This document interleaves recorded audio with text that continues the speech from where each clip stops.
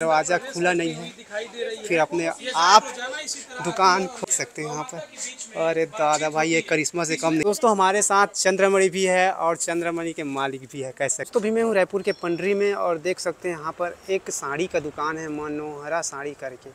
यहाँ पर एक गौ माता आती है और मालकिन की तरह अंदर में घुस जाती है और बैठे रहते हैं ऐसे करके एक वीडियो बहुत ही ज़्यादा वायरल हो रहा है। देख सकते हैं, कुछ इस तरीक़े से है। दुकान यहाँ पर एक दुकान है। साड़ी का दुकान है, यहाँ पर। तो भी मैं पहुँचा हूँ। यहाँ पर पंडरी में और दुकान के फ्रंट में खड़ा हूँ। देख सकते हो यही दुकान है, जो बहुत ही ज़्यादा वायरल हो रहा है। साड़ी दुकान है, यहाँ पर एक गौ माता आती है और बैठी रहती है, ऐसे करके बहुत ही ज़्यादा वायरल हो रहा है। आप लोग भी देखे होंगे वीडियो सोशल मीडिया में। ये देख सकते हैं यही दुकान है। चलिए दोस्तों, अंदर घुसते हैं और इस खबर के बारे में आप लोगों को ए टू जेड जानकारी देते हैं। हो सकता है गौ माता भी आया होगा और उनके मालिक भी होगा। तो बात करने की कोशिश करेंगे, कुछ इस तरीक़ा से है।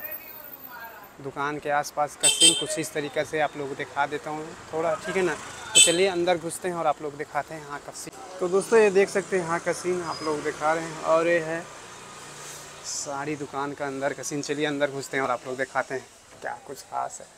तो देख सकते हैं कितना कस्टमर लोग आए न्यूज़ वाले भी आए हैं पूरा। यहाँ पर सब कवर कर रहे हैं और पूरी तरीके से यहाँ सीन आप लोग दिखा रहे हैं। ये देख सकते हो। ये साड़ी का दुकान है एक्चुअली भैया का। बहुत दिन हो गया यहाँ पर साड़ी की दुकान।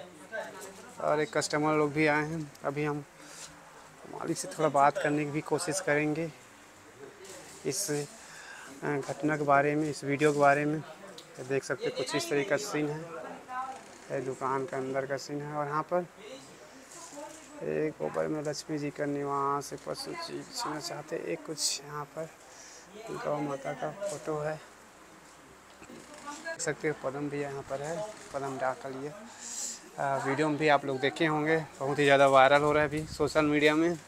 बड़े बड़े न्यूज़ चैनल में पूरी तरीके से छाया हुआ है ये दुकान।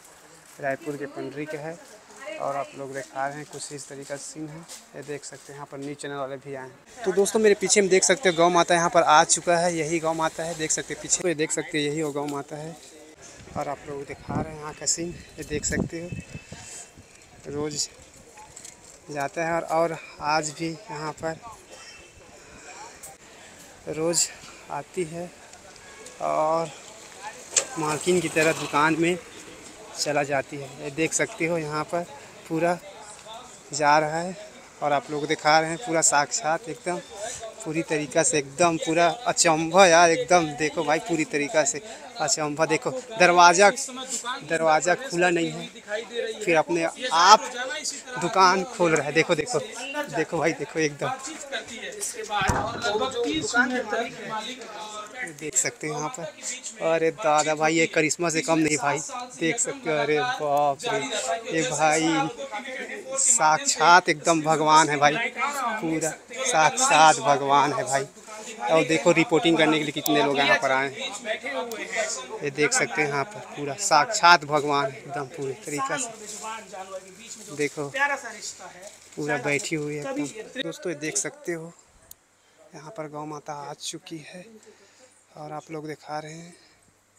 ये देखो, एकदम बहुत ही ज़्यादा वीडियो आप लोग भी देखे होंगे, वायरल भी हो रहा है, बहुत ही ज़्यादा। देखो पदम सर, इस दुकान का मालिक है। और मालकिन का। दोस्तों, हमारे साथ चंद्रमणि भी है और चंद्रमणि के मालिक भी है, कह सकते हो। तो दुकान में भी हम पहुँच चुके हैं। भैया एक्सपीरियंस के बारे में बता। फाइनली आ चुके हैं हम। साक्षात भी देखे, एक करिश्मा से कम नहीं है। ऐसा लग रहा है साक्षात हम भगवान को देख लें, ऐसे लग रहा है। अनुभव बताइए, कैसा, कितना फील हो रहा है? कितना एनर्जी आ गए देखो, ये एक ऐसा प्रेम का माहौल है गाय जो है वो सिर्फ़ समझ लीजिए कि गाय नहीं है, ये गौ माता है। और जो गौ माता है, वो तैंतीस कोटि देव देवी का एक अंश है।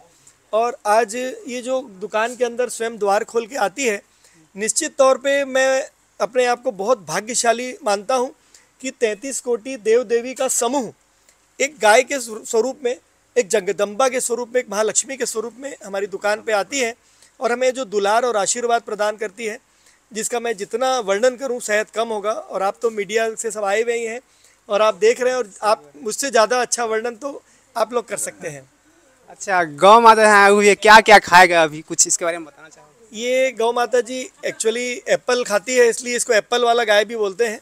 ये एप्पल खाएगी जब ये जाती है तो एप्पल खाती है लेकिन ये भोजन या एप्पल खाने नहीं आती है। ये आती है बड़ी मस्ती से बड़ी भक्ति से बड़े आनंद से। और यहाँ बैठे रहेगी। अब जब इसकी मर्ज़ी होगी तभी अपना उठेगी और जाएगी। तो हमारे साथ एक और भैया भी अपना अनुभव बताइए गौ माता के बारे मैं अरविंद गोलछा जय जी ने सबको। पहले तो यह है कि इस गौ माता के प्रभाव से जो मैं गौ अर्क ले रहा हूँ अभी मैं ब्रेस्ट कैंसर का पेशेंट हूँ और 2021 में मेरा ऑपरेशन हुआ था ब्रेस्ट कैंसर का। उसके पहले से ही ये गौमूत्र जैसे ही डिटेक्ट हुआ कि कैंसर है मुझको तो मैंने ये गौ गौ अर्क लेना चालू किया और प्रतिदिन खाली पेट ये गौ अर्क लेता हूँ। इस गौ अर्क का फ़ायदा है कि मेरे को अभी तक सेकेंड टाइम जो पेट सिटी स्कैन हुआ 2024 में भी उसमें भी मुझको कोई भी मतलब कैंसर की गठाने आगे नहीं बढ़ी न डिटेक्ट हुआ और मैं एकदम स्वस्थ हूँ। और स्वस्थ इतना स्वस्थ हूँ कि मैं कोई भी हमारी जो धार्मिक क्रियाएँ होती है आठ दिन का प्रवचन महापर्व है जिसमें जहाँ जहाँ साधु संत लोग नहीं पहुँच पाते वहाँ पर हम लोग पहुँचते हैं। और हम लोग वहाँ पे पूरी सुबह पाँच बजे से लेकर रात को ग्यारह बजे तक वन मतलब प्रवचन सवेरे का प्रतिक्रमण उसके बाद दोपहर को भक्ति ऐसा रात को प्रभु भक्ति ऐसा प्रतिदिन का कार्यक्रम रहता है। वो पूरा एकदम बिना किसी रोक टोक के बिना कोई मतलब मेरे को कोई बाधा नहीं पहुँची और स्वस्थ रूप से मैंने इसको पूरा किया है। शत प्रतिशत मतलब बेनिफिट मिला आपको हैं। भैया गौ संरक्षण को लेकर क्या आप मतलब वो जागरूकता कर रहे हो अभी आने वाले? गौ संरक्षण को लेके मैं, वैसे तो हमारी मनोहर गौशाला खैरागढ़, छत्तीसगढ़ में चल रही है। गौ संरक्षण के लिए मैं सबको एक ही संदेश देना चाहूँगा कि ये गाय का संरक्षण, ये हमारे आने वाली पीढ़ी को हम लाखों करोड़ों रुपए का अगर संग्रह भी दे दिए, या उसे धन दौलत, धन दे दिए, हीरे मोती भी दे दिए तो भी वो अपना जीवन आने वाले तीस चालीस साल बाद नहीं जीवन यापन कर पाएँगे। क्योंकि वो खाएँगे तो रोटी, दाल, चावल, गेहूँ दाल जो अन्न है, वो खाएँगे। और अगर आज की व्यवस्था जैसी चल रही, वैसी अगर चला तो आने वाले समय में धरती के अंदर में जहर की मात्रा बढ़ जाएगी, अनाज में जहर की मात्रा बढ़ जाएगी।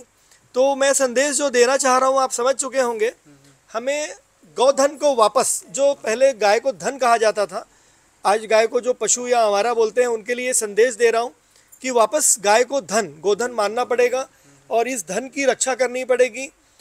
जब हम अपने बच्चों को जो विरासत में धन देंगे और साथ में गोधन देंगे दोनों का मिश्रण होगा तभी आने वाले समय में अनाज के अंदर में जहर की अंश कम होगी। हमारे बच्चे जो हैं हमारे आने वाली जो पीढ़ी है वो बिना जहरीला भोजन यानी नेचुरल भोजन। ग्रहण करेगी। भारत से बाहर से जो दवाइयाँ आयात होती है वो कम होगी। निश्चित तौर पे ये एक है मगर ये तैंतीस कोटि ही है। ये संदेश मैं जन जन को देना चाहता हूँ और मीडिया को धन्यवाद भी देना चाहता हूँ कि आज आप सब यहाँ पे मतलब मीडिया मेरे लिए सारी एक बराबर है। आज यहाँ पे भारत के बड़े से बड़े मीडिया वाले और आप सभी यहाँ खड़े हैं, एकत्रित हैं और पूरी दुकान के अंदर में पूरी मीडिया से भरी हुई है। मेरे को बहुत खुशी है कि मीडिया ने बिना स्वार्थ के, क्योंकि देखिए आपका प्रोफेशन है, यहाँ आपको इस धरती पे कुछ भी मिलने वाला नहीं इस वीडियो से। जो भी मिलेगा आपको उस दूसरे युग में मिलेगा। सही बोल रहे हैं। लेकिन आप जो ये कर रहे हैं आपको बहुत साधुवाद है आपको गौ माता खूब बरकत दे यही शुभकामना है और यही आप प्रसारित करें और बहुत ज़्यादा से ज़्यादा लोगों को गौ संदेश प्रदान करें और गौ माता की रक्षा में आप अपनी पूर्णतः भूमिका निभाएँ। जय जिनेन्द्र जय गौ माता जय जवाहर। तो बहुत बहुत धन्यवाद भैया। तो देख सकते हो दोस्तों यहाँ पर गौ माता बैठी हुई है। उनका मालिक भी है। यहाँ पर पूरी तरीके से रोज़ आता है। सात साल से ये सिलसिला लगातार जारी है। तो आप देख सकते हो, कस्टमर लोग भी आए हैं तो बीच ही भी लोग ज़्यादा बात नहीं करें।